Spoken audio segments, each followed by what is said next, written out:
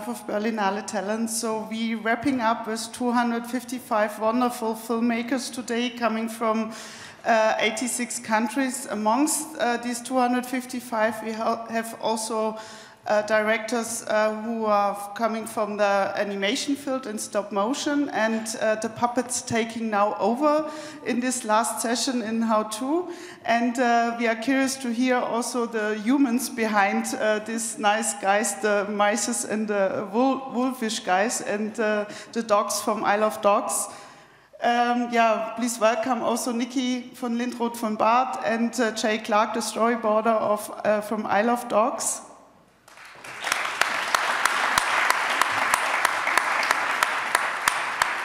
And also please give a warm welcome to Andrew Amondson. He is a, a creative uh, person since working since many, many years, also as director and producer, and he was a former member of our selection committee. So please enjoy the session here. Thank you, Thank you Christina. Welcome, welcome. Great that you're here today. Um, so just a, a, little bit more of an introduction, both for Niki and for Jay. Um, Niki is a visual artist, uh, also working as a, a, costume designer. You worked with David Bowie on Blackstar, I saw. Um, and also as your work as a, as a director, working frame by frame to create these beautifully detailed and surreal worlds for your films. Um, the film we're going to watch in just a second is uh, it premiered here at the Berlinale in the Generation section. Is competition, yes? Yeah, European premiere. Yeah. European premiere. Okay, yeah, great. It premiered in Toronto uh, last uh, September or something. Great. So we're gonna have a we're gonna have a chance to see the film in its entirety in just one second. Uh, her film before, The Burden, and there's others, but The Burden uh, went around the world to all the festivals. It snatched up 82 awards, including the Best International Short Film prize. 85. oh, 80, we're up to 85 now. Okay, very good. I stand corrected. Well, that's, that's good. And Jay, we're really happy to have Jay back uh, to the Berlinale. He was here two years ago when, when Isle of Dogs was at the Berlinale. And uh, Jay's worked with some really, uh, you know, the greatest uh, stop motion directors. Uh, you know, talking about Nick, uh, Nick Park, Aardman Entertainment, you know, on his characters like Wallace and Gromit and Shaun the Sheep. And uh, Jay is a, a, close collaborator when it comes to the storyboard and pre-visualization process for Wes's films. And the first one was uh, Grand Budapest, Grand Budapest Hotel, Isle of Dogs, and uh, the forthcoming film from Wes, which is The French Dispatch. We're all looking forward to that.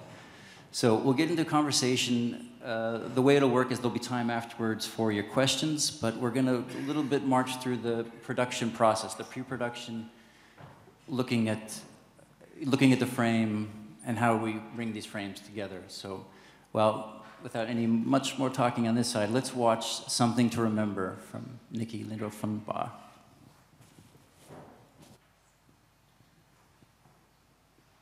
Wow, it's, it's a really, it's a beautiful film and I, it gets better every time I see it. How, how, has the, how has the reaction been since showing it here? I think it was good. Mm -hmm. uh, I mean, it's always hard to tell, you know, but, but I think uh, this is a very short film. I mean, to be, I mean, my previous films has been more like, I don't know, 11, 14 minutes. Uh, but I sort of, so I, I felt that the, like, the short format may be like a bit too short in, in a program, but actually I was quite uh, relieved that it was so short in, in this program that I'm in, because like the other films were quite long, and then mm -hmm. it's quite nice to have something that's just like, ah, now it's over. And I, did I like it? I don't know, but it's, you know, yeah. uh, yeah. Well, I know that's I know that's true from programming. That uh, if you have a short film that's under five or mm. around five, it's much easier to program than these longer ones. So it, it can fit in to a program quite nicely. Yeah, hopefully, or it will just disappear. It's like it's a really yeah. uh, it's a fine line, I think, mm. when when programming. But I was really happy about this this mm. program here. Great. Well, what's, what strikes me about it is the framing, and I want to talk about both of your um, references and inspirations when it comes to framing because that's that's something that connects you and it connects all of us here. I just and then real quick, I want to ask how many animators are in the audience tonight? Yeah, okay, a good number. Nice. And in working in stop motion? Aye, look at that. That's good. We could probably make a film, I think. yeah. We got, we got puppets, the we have the puppets, we animators. got the people. It's more than I've like ever seen in one place before. It's really, it's amazing. Yeah, and I think, I mean, even if you're, even if you're not working frame by frame, what is important is the frame. And, and I wanted to get into, we can talk about a few of the inspirations that generally inspire your work, and then Jay has prepared a presentation of his work on uh, bringing together the references that Wes Anderson had in mind for Isle of Dogs, and then we'll go into that as the pre-visualization. But um, tell us, you can click through here and tell us a little bit about what Right. inspires you for your framing. Yeah, so I, I chose uh, my most uh, um, the, the the artist that I sort of uh, love the most. It's Caspar David Friedrich, uh, who's like not very like maybe not very modern, but I do like. I, I don't know if that's like visible in my films. Maybe it's not visible at all uh, ever. But like before starting up with a new project, I always uh, look in, in my book with his uh, with his paintings because I think it's like uh, I I do think he's so great with the framing, and I also feel that he's uh, like the humans in his uh, uh, pictures are like so subtle and also like almost uh, always turned away from the from the image, which I also enjoy so much. I think like just with my with my um, uh, films in general, I I sort of I, I'm not very like character driven at all. I I'd see my sort of like the atmosphere or the surroundings uh, or the like yeah the the places uh, as sort of the main character and and my my puppets are more just sort of exposed to a situation or to life or whatever. It's not that I sit down and really think about what they like what kind of person is this mouse or whatever. It's just like yeah they're sort of um, visitors in this atmosphere. Um, so yeah so when it comes to framing i, I love this sort of that, that, that the landscape and the, um, and also like the atmospheres. I, I love the atmospheres in his um, in his paintings. Um, also, I very often come back to this. Actually, this is a, a clip from um, uh, Mulholland Drive by David Lynch, and it's like uh, in a coffee shop where uh, someone um, meets with his friend, and um, he tells this. Uh, he tells him about a dream that he had. That it's that, and that dream was exactly like this uh, situation that they're in now, like that, that they're sitting by this table at this coffee shop, and then they go out, and then something horrible happens, and then they do this uh, for real. Um, so they go out and go to the back, and then there's this uh, like horrible person, the horrible homeless man. I don't know. Uh, which is just sort of a, like a little bit of a jump scare. Uh, but I just think that that scene, I just love that atmosphere so much. And I also sort of copied a little bit of that atmosphere into The Burden, where, where, where it's like uh, a dog working in a, in a supermarket that sort of retells his dream as if it were uh, real life. And you sort of don't really know what's real life or not. Uh, yeah, something like that. And yeah, sorry, and also this, uh, just like a very short. This is uh, Henry Darger, uh, who who was um, um, an artist, or like he, he was just um, uh, he just painted um, uh, a lot. Like he just created like an entire world of of tiny girls fighting uh, like a weird regime or like mili- like military uh, guys, and and sort of um, so it was like some sort of weird fantasy. Tale that never really ended. Uh, yeah, and it's quite horrible sometimes. but also really like just in the details and the framing, I think it's interesting as well. Yeah, and then, and then the next slide shows you the steps through into your choice of framing from this film. Yes. Yeah. Exactly. Um, so um, uh, this is also just like a couple of uh, images that I would like to show you as like that you can see like from a reference to like the work in progress to the actual uh, scene.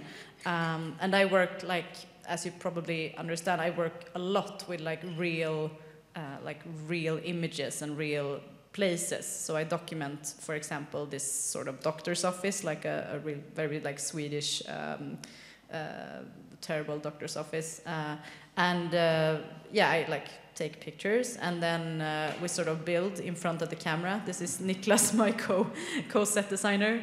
Uh, you may you might remember this, uh, or like you you uh, recognize this puppet from here. Uh, this was actually like a much older puppet. We just used this puppet as a like symbol for another puppet.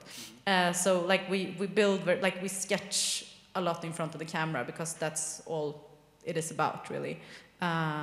And this is sort of uh, almost done, and uh, this is the final uh, final scene. Um, also, yeah, that was Yeah, I that, guess, yeah. I think that's, Yeah. that's it. And if we can switch over to the other input for uh, Jay's laptop. That's your cue, Jay. Well, so, firstly, I'd just say that's a really beautiful film. That's the first time I've seen it. I deliberately didn't want to see it until tonight. so um, it's really good to be back. Thanks, Andrew. Um, nothing's changed in Berlin, and, and that's a good thing. But um, so really, when you you know when I came originally, when Isle of Dogs first premiered, I think the talk was much more sort of expansive and covered qu- quite a lot of ground. But um, what I found interesting when we were catching up is this idea of really digging down into Kurosawa. So that's my portion of, um, of tonight is to really sort of, you know, when Wes first got in touch about Isle of Dogs, he said that Kurosawa was, was going to be the real, you know, driving influence. But um, specifically early Kurosawa, because everyone's sort of aware of those, the Seven Samurai and, and the more, the later films. But there's this whole sort of back history of Kurosawa, which we were able to just jump into and um, really spend time with a master of cinema. So that's my plan. We will spend time with a master of cinema, and I'll somehow show you how that fed into Isle of Dogs. Um, first off, uh, was this idea. It's crazy to think this was back in 2017, but the, one of the main influences were Japanese woodblock prints. Wes said if, if somehow the animatic and the storyboards could, could look like Japanese woodblock prints. So I went to the V&A and really studied the line work and um, just the characters and the settings. And already I could see this is going to be this world with the world of stop motion. I could, you could kind of get an idea of what the this weird fusion was going to be. Um, so and they're, they're, they're inherently cinematic anyway. They're kind of almost like camera moves, you know, the way the eye is drawn down to that whirlpool of activity. And I was struck by the fact that, you know, Wes Anderson is very much known for how he moves the camera in a particular way. And so comparing that, the Japanese woodblock prints, with how he moves the camera. So these are a few examples of, of storyboards of how you, you begin in one area and you move the camera to give the audience some more information. and you're and just real quick, you're, you're drawing these these these full boards so that the, you can send them to the editor who's going to do the camera moves for the animatic. Yeah. That's right. The editor um, is a chap. we've worked together on all three projects now, starting with Grand Budapest, and uh, he's called Edward Bursch. And he's a sort of After Effects genius. Um, somehow we're able to supply him with these, uh, with this artwork and with the animation poses, and he starts to edit this thing, and, and it slowly builds from there. Um, so again, with the Japanese woodblock prints, you can see the almost camera moving left and right. Um, so that was fun, and I include these really just as, a, as an example of, say, how you can take the subject matter of your film and somehow start to Im- impose it on the, the actual work, and that, that that will somehow let you get closer to that zeitgeist of, um, in this instance, you know, Japanese cinema. And how, did, and how did it work when you were? When, was it a back and forth with Wes a little bit? You know, you. oh yeah, a lot of back and forth. Yeah. Okay. And so For sure. you you bring him something. You talk about something. And what were the what were the things that floated to the top for you? Well, he his scripts are very um, detailed and prepared, and almost like a little novel. And so the procedure that that we go through, because I was on Isle of Dogs for two years, so that's you know the film only lasts for um, I'm not even sure, but it doesn't last for two years. but what we do over that process is we make um, you know quite a lot, a few versions of the film, and you're always trying to find the best version of a shot of a scene. And so that's where the time is spent. And when Wes, Wes has time, he's able to thumbnail. Um, when he doesn't, there's shot lists that you know that I, I then sketch up and he reacts to, and you know you just sort of go from there really. Um, And Niki, just on, for you as well in this in this process, like how much time are you putting into this mapping them out with the, you do your own storyboards or have up to this point? Yeah, until now. Uh, I- I'm actually just starting out to, to work with the storyboard team uh, next week, so I'm uh, very give them scared help. and excited. Jay, do you have any do you have any tips for how to talk Yeah. with storyboard artists? How to get the most Yeah. out of your storyboard artists? Respecto. yeah, for sure. Um, no, but I've been no, but I've been doing my own storyboarding, and I think uh, this will actually be quite a big leap for me since I uh, I do think a lot visually. When like to me, just writing a script in uh, just text, it doesn't really say that much to me. Uh, so so it's it's very important to me to sort of like like uh, draw whatever I'm thinking and just like seeing these images of, of this uh, scene uh, of like yeah in front of me. So um, so I'm not I, I yeah I think it will be uh, uh, it will be an interesting experience uh, to collaborate with someone else. Um, but also like I don't know I, I wouldn't really be able to uh, use I, you will see a couple of, of drawings from my own storyboards later on and, and those are quite like it's I wouldn't want to give that to someone else to sort of make a film out of because that's just like it, it makes sense for me but it's still just like childish drawings so Yeah. I think this would be this will be good Yeah, and I'm not, we're not seeing it here, but I remember from before that Wes, in his detailed descriptions, also had his own little thumbnails. You know, so Yeah, he's always he's always done going all the way back to Rushmore. I think he's he's always thumbnailed on the script, and that's a very sort of he, he's I guess he's of that school of filmmakers, the the Hitchcocks, the the Spielbergs, and the Kurosawas that um, that did use that tool as a way to, like you say, communicate ideas really. Um, you know, which brings us nicely into Kurosawa because he he he storyboarded and um, he had storyboarders, and it was really a way of um, you know getting to some of those images that, like I was saying to Andrew, some of these Kurosawa films have lasted generations, and some of these images, you know, the fact that we're still talking about them tonight. Um, is, is, it's interesting that his process, you know, began with sketching, and I think he wanted to be a painter when he was younger. So um, what I have here is um, a few examples of. Let me see. This is an early film called uh, "The Men Who Tread on the Tiger's Tail," and um, I'll just play a little clip, and then I'll talk about how it how it kind of fed into the frame. He sort of constructs a lot of these shots. So this is a sort of example from a shot from Isle of Dogs, where you have that very extreme um, foreground layering um, with the detail. And what's interesting, it, it really starts to make you think about the depth of the shot.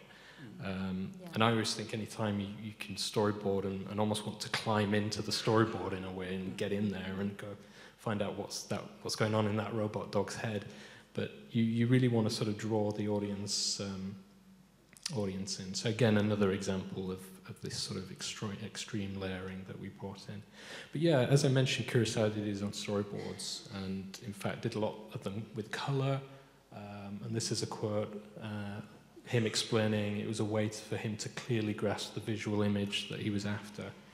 And this next clip is a, a, a brief little montage of a few of his storyboards kind of intercut with um, the finished shot. Storyboard is interesting because it, it brings us onto this idea of how you would use nature in the, um, in the shot. And he would often do this because there wouldn't be very much going on in, in, the, ca- in the actual shot itself. The character would be very still.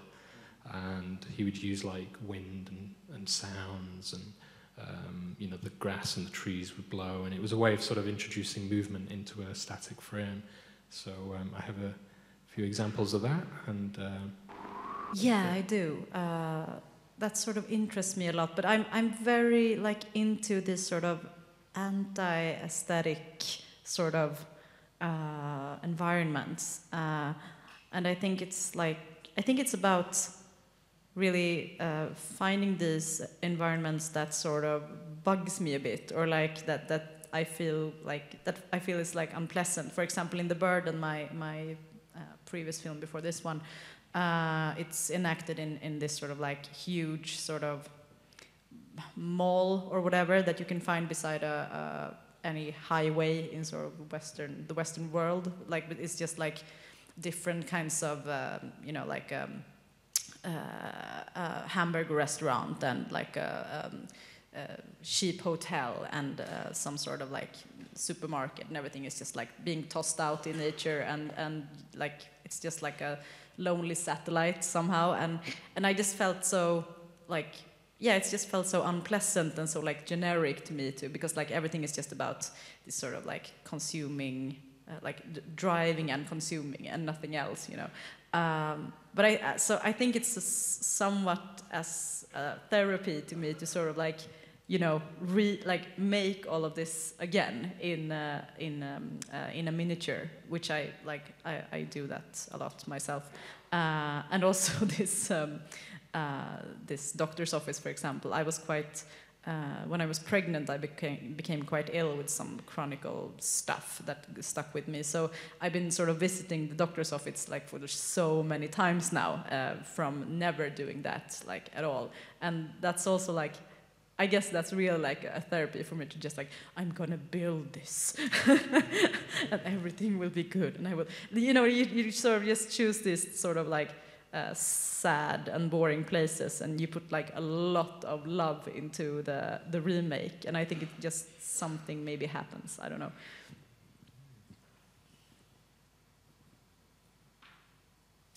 So we can, Andrew, we can talk a little bit about um, the blocking of characters and stuff. And we, there's a few things I can move through quite quickly, and then maybe if there's questions at the end, we can always circle back to. Right. okay. But um, the one thing that we, you know, that I did do is watch a lot of um, films such as The Bad Sleep Well. I don't know if you guys have seen that. And the way that um, I often work is that if I can and if I have the time, is you know really study, look at these films, look at scenes. Um, in this particular case, look at how Kurosawa was dealing with large groups of characters in shot because it's very easy for a, for a shot to suddenly become quite messy and disorganized, and that wasn't the way that Kurosawa worked. You know, worked in a very sort of specific way.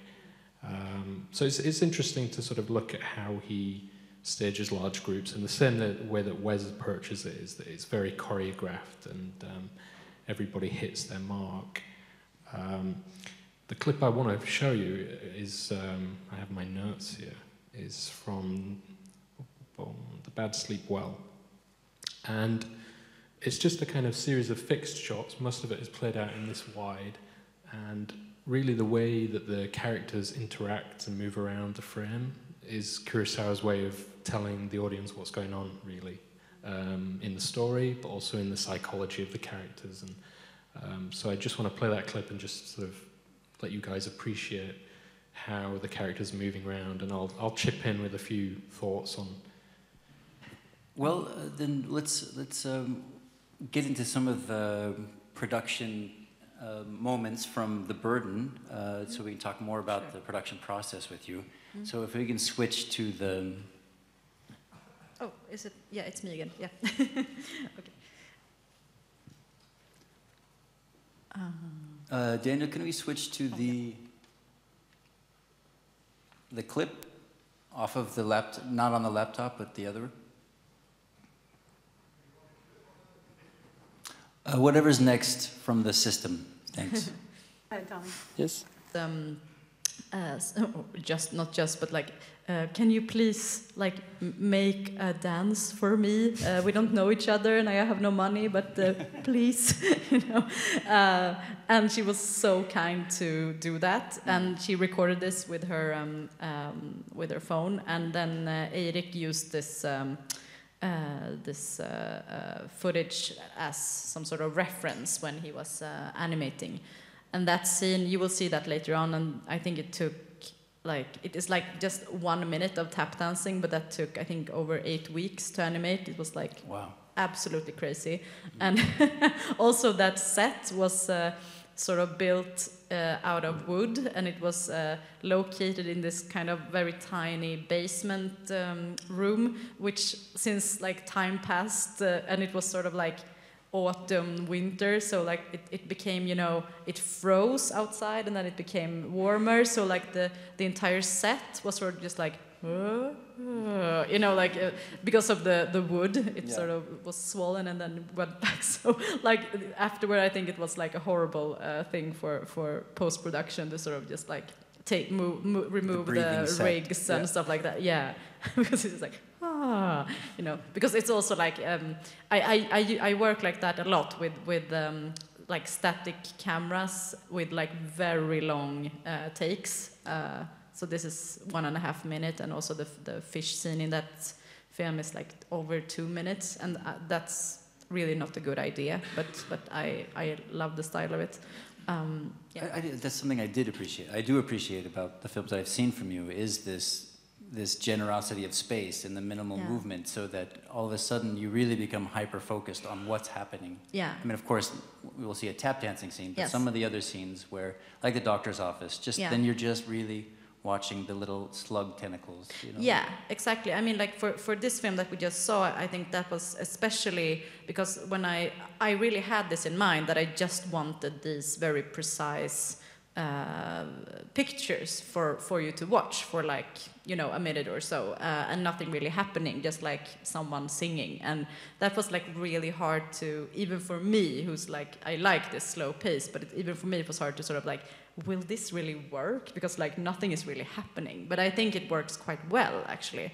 Uh, and also you spoke about depth in the pictures, and I think that's like when working with stop motion animation, it's just so rewarding to work with depth because that's it's so much easier uh, compared to working with like 2D animation.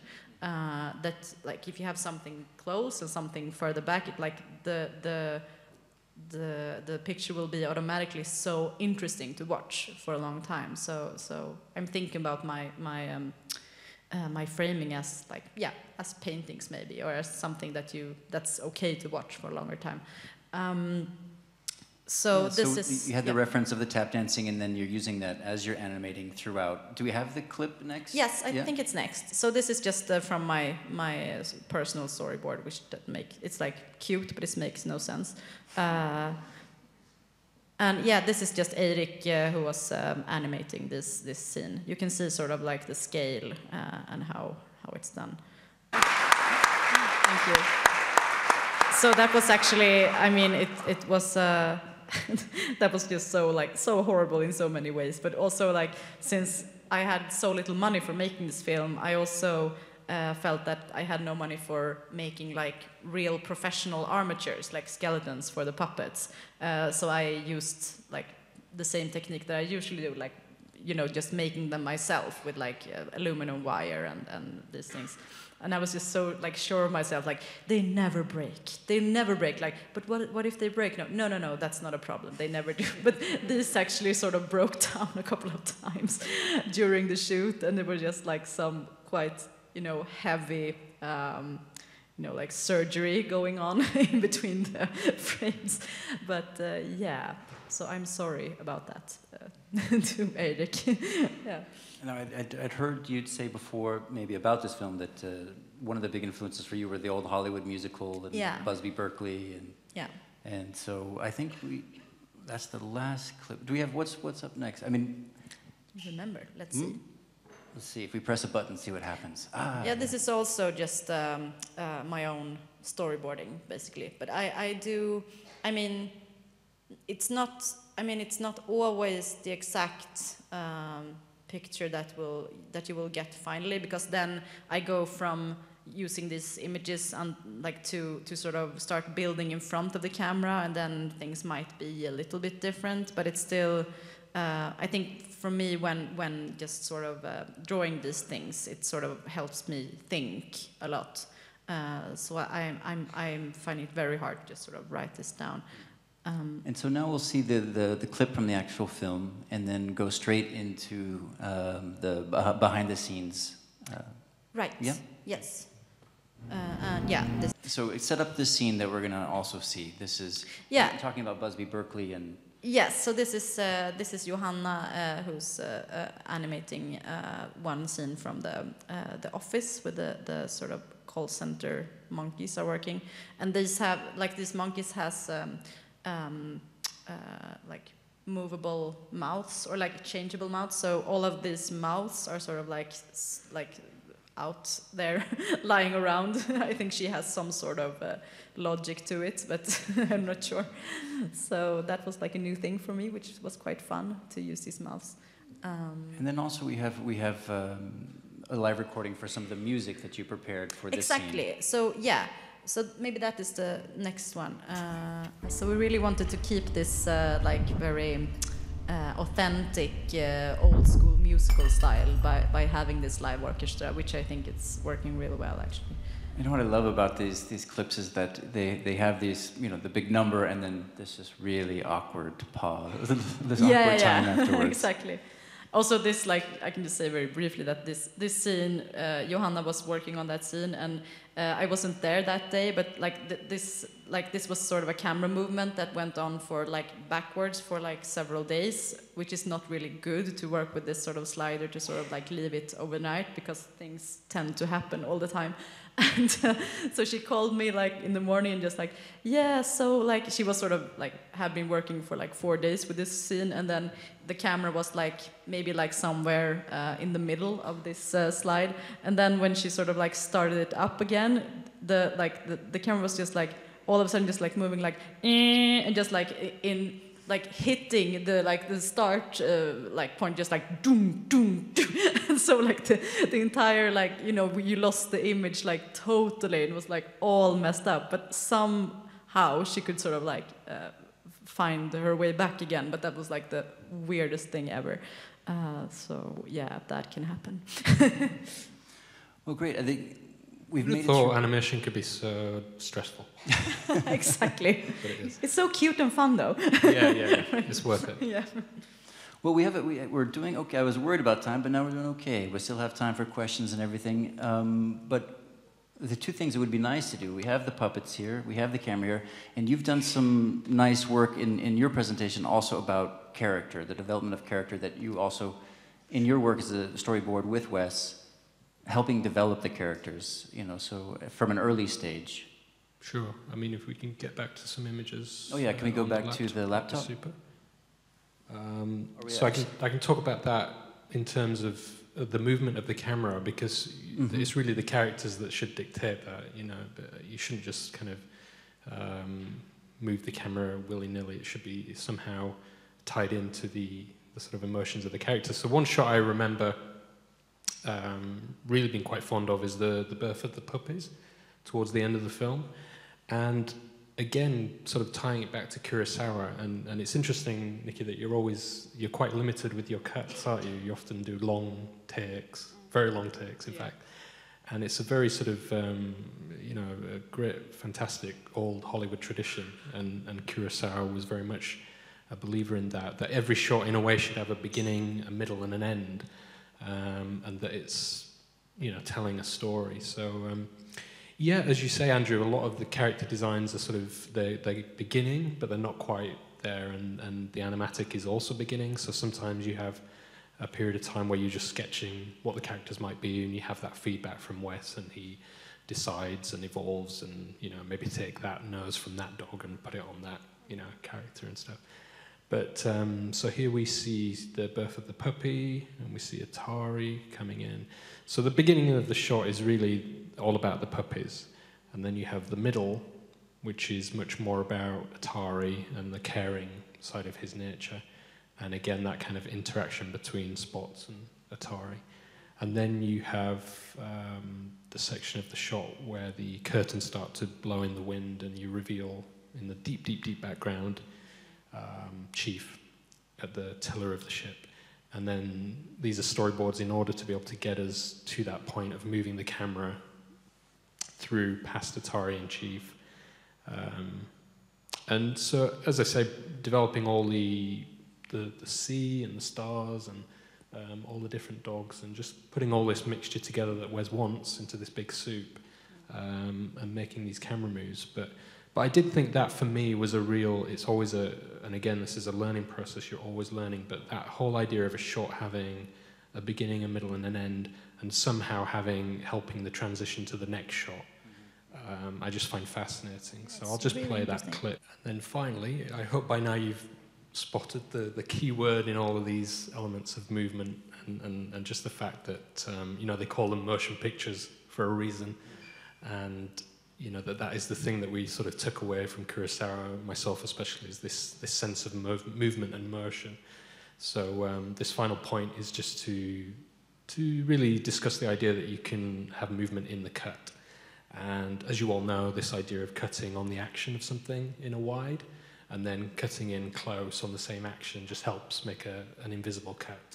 And um, I always think that every time you make that cut, you're asking the audience to make a big leap with you. And so if you can help them on that journey, even the word cut is very violent. So um, it, it's fun to see how Kurosawa does that.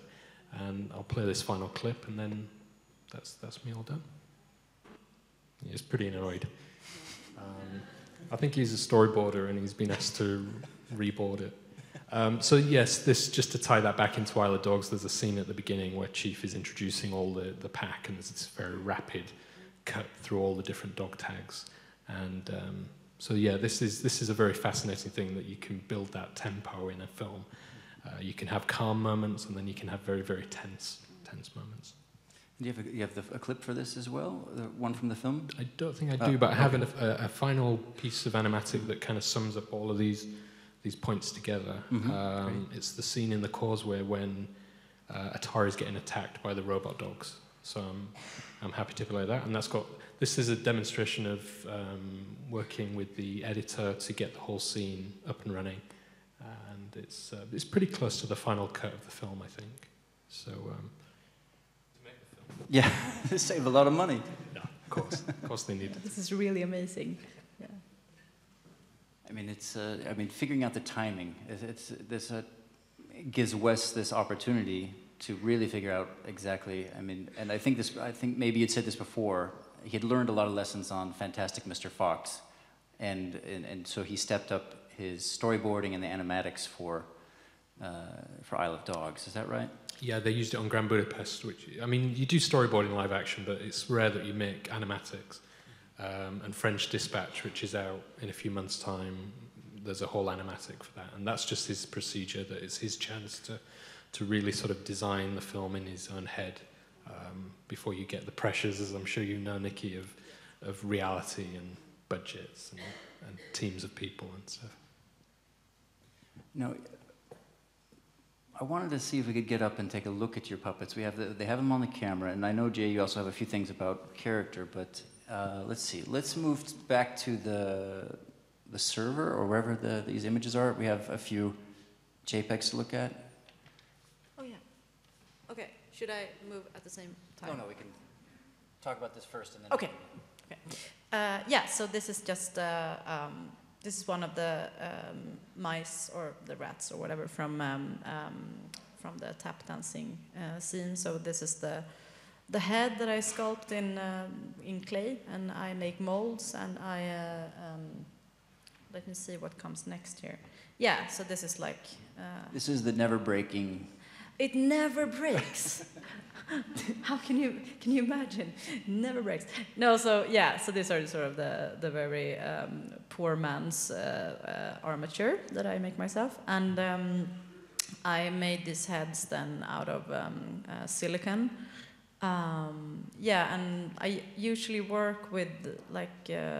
Oh yeah, sorry, I go back. Uh, I usually work with a scale. I work with a quite specific scale. It's like seven, like one to seven and a half uh, for some reason, uh, which is quite small, I think. But but it's still, since I've been having like such a tiny studio, uh, I want to sort of like make the the sets as uh, small as possible, but still keep the sort of amount of details in the. Um, in the puppets and sets. So I think that works somehow for me. Uh, so these are sort of like Barbie size, like 23 centimeters, something like that. And this was like the first time actually where I tried to, since there are these monkeys in, in the in the uh, call center uh, scene uh, that that look sort of similar, and they are like eight pup uh, like eight puppets, and they have this sort of exchangeable mouse.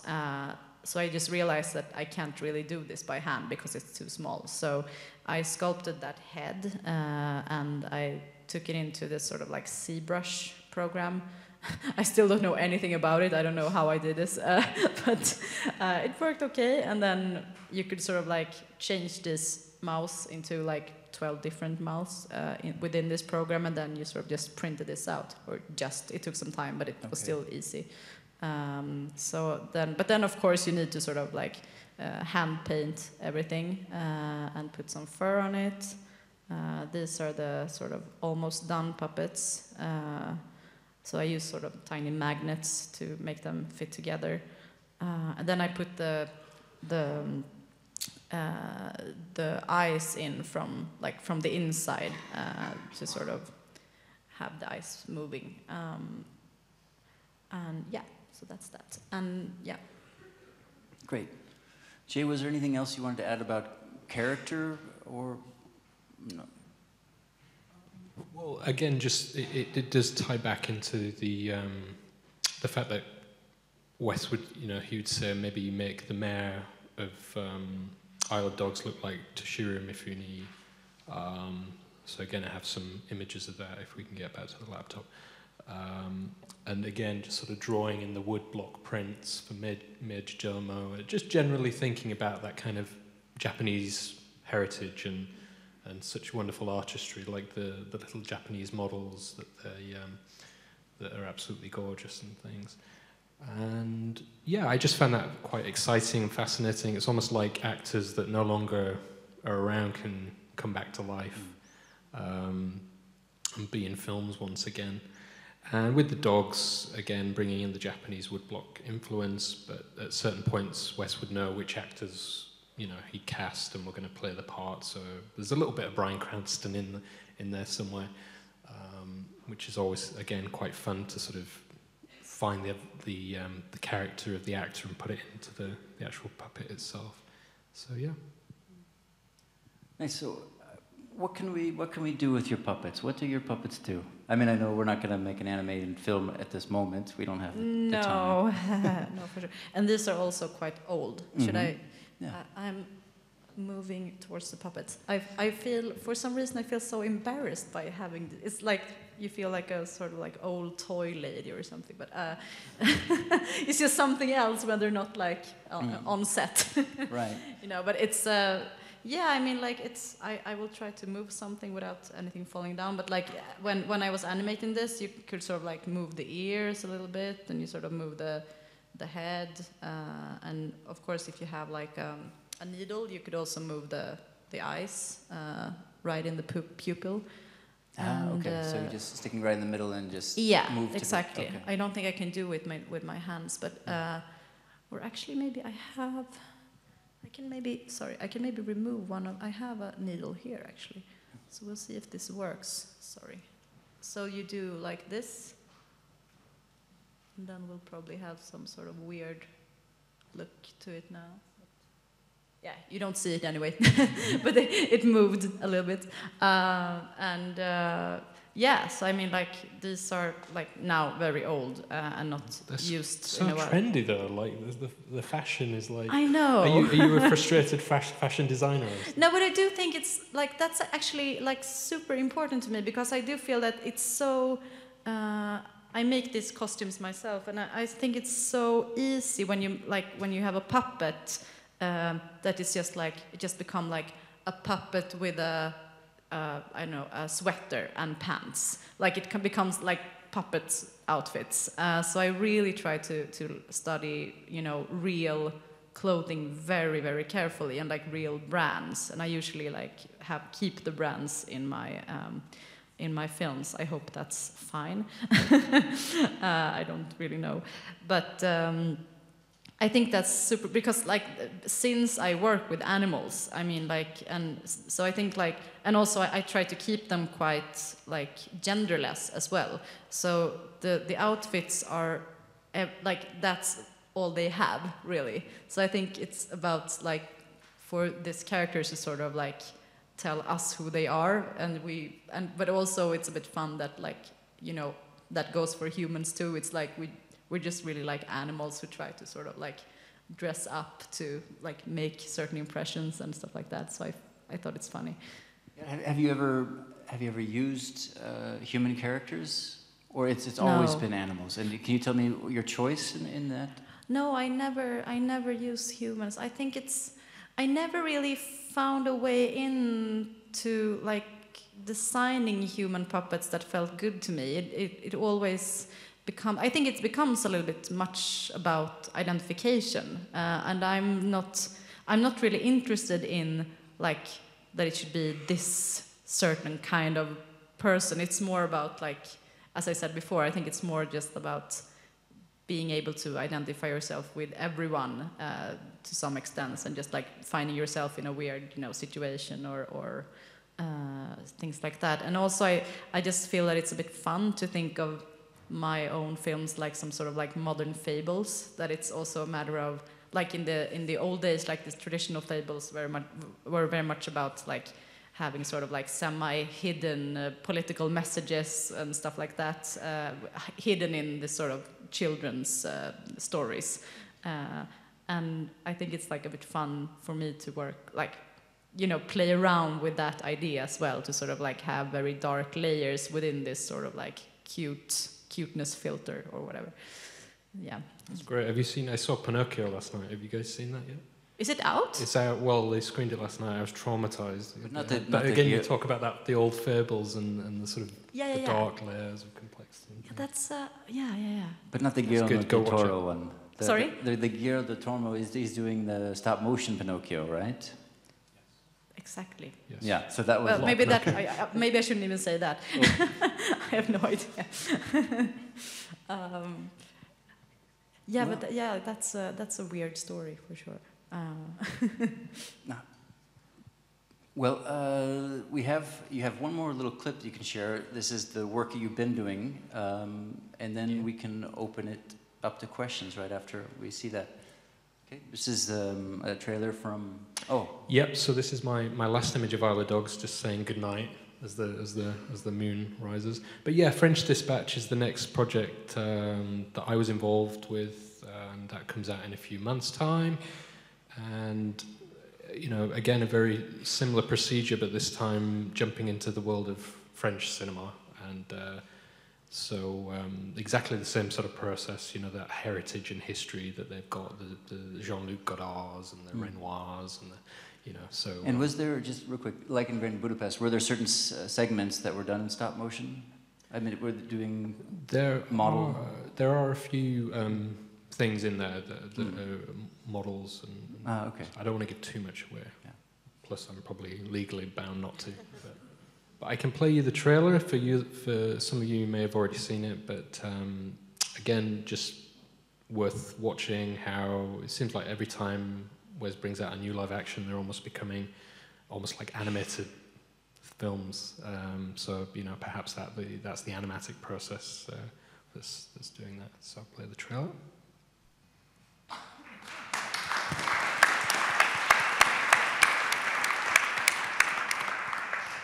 Well, great work on both sides. Do we have do we have a microphone down here for? Okay, there's a microphone we can pass around, and I see a question right here. Hi, I have a question regarding working with Wes Anderson, and uh, I'm here. Yeah, I'm a director by myself, and uh, talking about the uh, storyboards because I was really amazed by animatics and how precise they are. So can you tell me more? How is like your connection in the creative uh, process? Do you decide together on the motion and how the frame will work? Because his whole cinematography is really, really, you know, influenced by cinematographers. So could you tell like your experience, how you work together, like in the creative process? Work, working with Wes specifically. Yeah. No, yeah. it, it's Wes's vision, Wes's project. Wes drives it. Um, obviously, works on the script in, in, in much detail. And in the first film, Grand Budapest uh, had able to spend a lot of time, you know, thumbnailing. So it was really just helping take those thumbnails, make them much more detailed and animated. Um, and then through Isle of Dogs, obviously that was a longer project, much more animatic was needed. And so when he couldn't thumbnail, then I would thumbnail and then suggest. He would react. Um, quite often, what he does is takes a bit of an image and moves it around and uh, move that there, and so it's very sort of back and forth. But uh, really, you know, he's he, he wants you to contribute certainly as all the members of the team. You're not just supposed to sit there passive. You're supposed to help and contribute and, and make the process work smoothly. But it's certainly Wes's vision. I'm I'm there to help that onto paper and into the edit. Um, and so you certainly can make suggestions, but he's he's the boss. Uh, yeah, but uh, on the Isle of Dogs, you showed like the uh, storyboard, and it had like a painting, whole painting. So you do the painting, or Wes is more responsible. Like he says what's in the world, or you just suggest and create it. Like the whole, you know, camera work. You can see, you can see the frame, just only part of it. So yeah. So Wes always also creates the worlds by itself, like all the details. Well, he has. I mean, again, it's really it's, he's exploring. That's what the whole you know we don't make these animatics sort of for the sake of it. It's it's a process that he's exploring. You have the production designer who's involved. He's starting a whole area of um, of development and research, and it's all feeding in to the storyboard. And I believe every shot, the way he works now, is every shot that we animate uh, make an animatic of, is also made as a piece of concept art. So that's a whole other area that, that I'm not involved in. The, the production designer and the concept artists work up every every shot. And really, Wes's process is, is I always think of him as an additive director. You know, he's constantly adding detail all the way through the process. You know, I believe right into editing and post production. He's uh, constantly adding these details in. So as a storyboarder, you do what you can and you try and contribute, but um, it's certainly fun. Okay, thank you. And we have another question. Anybody have something? I feel one coming up over here. Yes.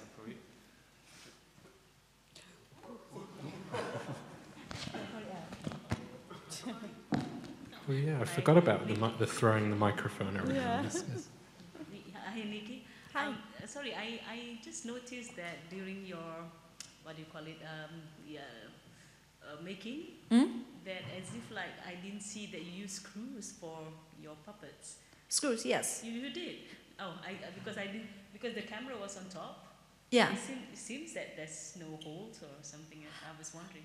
No, exactly. I mean, I, um, I sometimes I'm, I I use rigs like from above, but but usually I make I, I just make like tiny or like have just tiny screws, and I think like when it's on top, I guess I just sort of try to like remove the, these sort of holes a little bit, uh, but also I think you become very aware when you start working with this that if it's not like from above, if it's just like sort of, you know, human uh, perspective, then you don't really see the holes at all. And my holes are quite like tiny as well, so it's it's easier than you think to sort of hide that out. Yeah. And um, um, how challenging is it? Uh, it is, is it uh, when you animate like I don't know ten puppets, in, in, Mm. in, Um, especially during the dances? Yeah, exactly. I think uh, I sort of uh, I sort of learned that because like when when I worked with Bathhouse, I had uh, then I still like I, I I try not to animate too much myself these days because I feel that there are people that are much better to do that than me.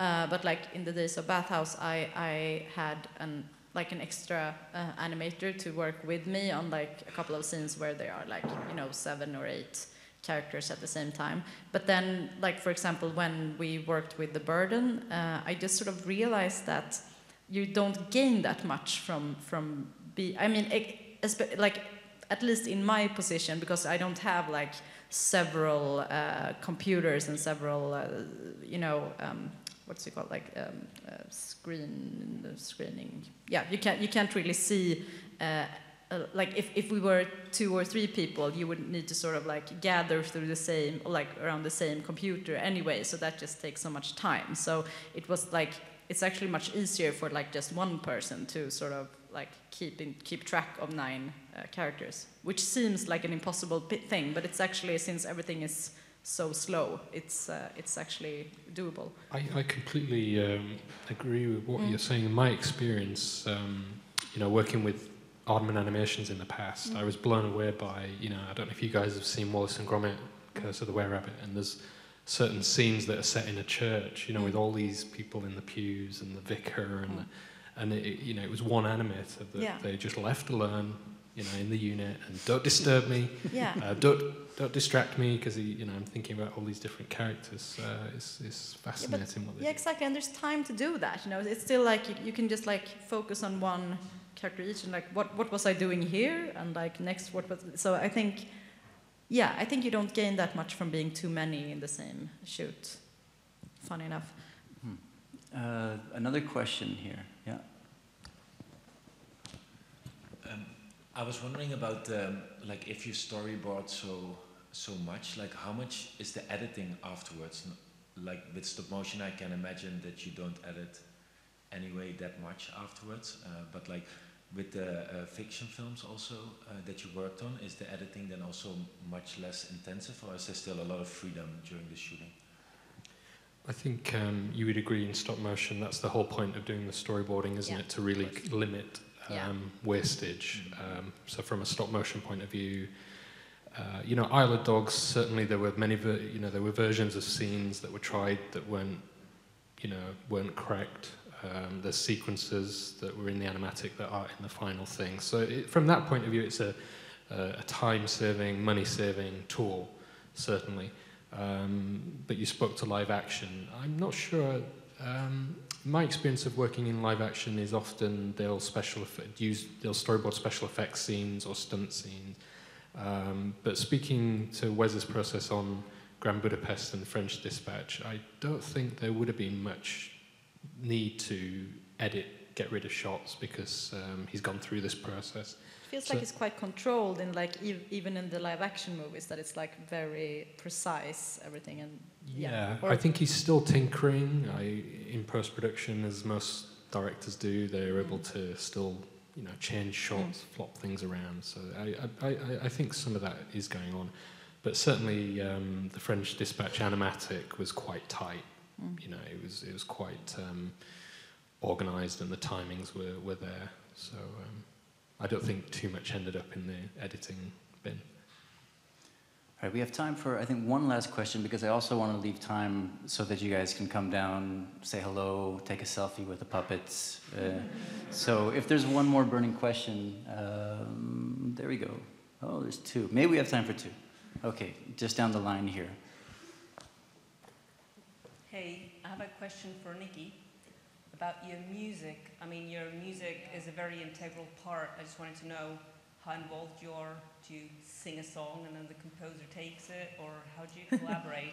Yes, all the time. It's like, la, no, but but it's but it's much more. Um, uh, well, actually, it's quite interesting because like my first two films, I was like very very. Um, I was sort of like almost scared to use music. Like in Bathhouse, I, I use no music, and Tord and Tord, I use very little because I I'm a little bit allergic to music in films that are not really like. I mean, they're just like too much. There's like sort of forcing the audience uh, to to feel a certain feeling uh, that could, like, like all. It, it feels just a bit like clumsy uh, a lot of times. So so I, I wanted to avoid that. But in um, in the burden, I tried instead to just like go in the other direction and just like go all in with the music. Uh, and then I worked with Hans Appelqvist. Uh, he's a Swedish artist and musician, and he. it's quite fun because his own music is very like quirky and like arty, and uh, I like forced him into like yeah make like I, I like gave him some clips like make like West Side Story, make like uh, you know this this Gene Kelly movie or whatever. So so and he was just like oh, okay, and and he he did his best, and it became like so great. Uh, and also in um, well actually in um, uh, the uh, something to remember, I uh, I started making that film like literally the day after I'd been on maternity leave for six months. So I was just like I need to do like due to some reasons I need to sort of start right away and sort of like just get into it uh, uh, like the first hour, and I was just like, yeah. uh, So this, uh, so this, this is actually like a lullaby, uh, like from the 30s. Not not with this um, uh, lyrics, obviously, but but with, it's like a very old Swedish lullaby. So uh, Hans sort of uh, did another arrangement for it, uh, and also Martin Luuk, who's a Swedish comedian, uh, helped me to write this sort of like more poetic uh, lyrics. So uh, I just felt like I just feel really connected to music. I, I love music. It's just that I like if there's supposed to be music, I want to sort of make it make it uh, like a, a very important part of the film. Otherwise, it's no use at all. Thank you. Okay, one, one last question over here to your right there. Okay, here. Hi, uh, the question is for Niki. And the thing is, I um, want to know um, how many, if you make an animatic, Mm. one question is if, Mm. you ma- if you do that before to begin to shoot. Mm. And the other question, how many freedom you give in these scenes, maybe you don't have clear in your mind. And in, if you are shooting, uh, how many freedom you give in the shooting process or in the animation?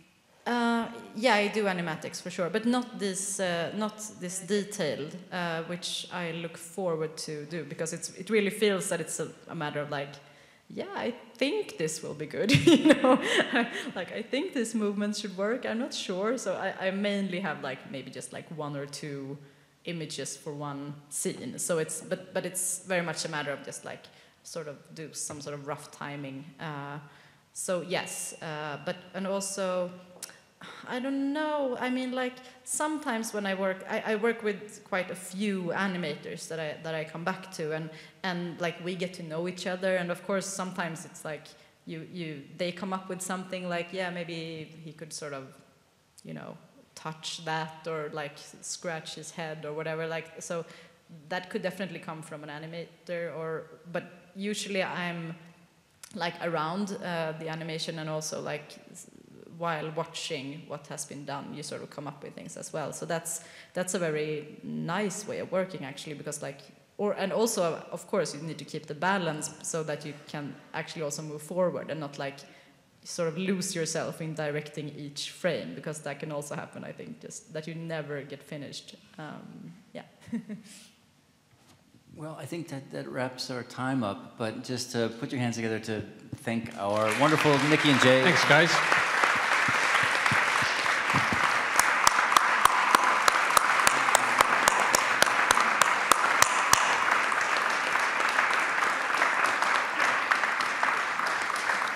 Yeah, so, so do come down, do come say hello.